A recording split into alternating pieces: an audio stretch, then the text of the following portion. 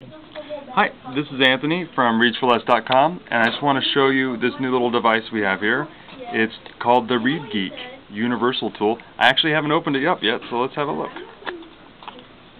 Nice and tightly packed. Whoa, smaller than I thought. Nice little velour patch. Wow, and there it is. The ReedGeek Universal Tool.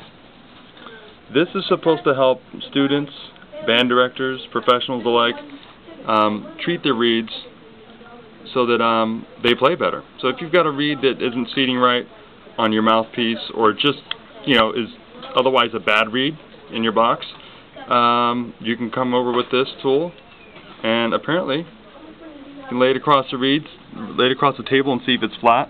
Maybe look through it and see if there's any light going through. And as I understand, haven't used it yet, but let's go. Um, you can brush it across the table just like that. And actually, as I do that, I could feel it taking some some uh, some of the reed off there. Let's see if we use the black. See that? Took a little bit of the reed off the back. It's supposed to make it flat, so that you, when you mount it to the mouthpiece, it's square. Now there's a bunch of other edges here. You can see this and that um, for more fine adjustments. So not only can you remove reed from the the table, you can also go in from the top and the tip um, and change the shape a little bit, thin it out if you need to. Um, I haven't got there yet, so we'll see how it goes, and I'll come back with another video and let you know how we're doing. Thanks.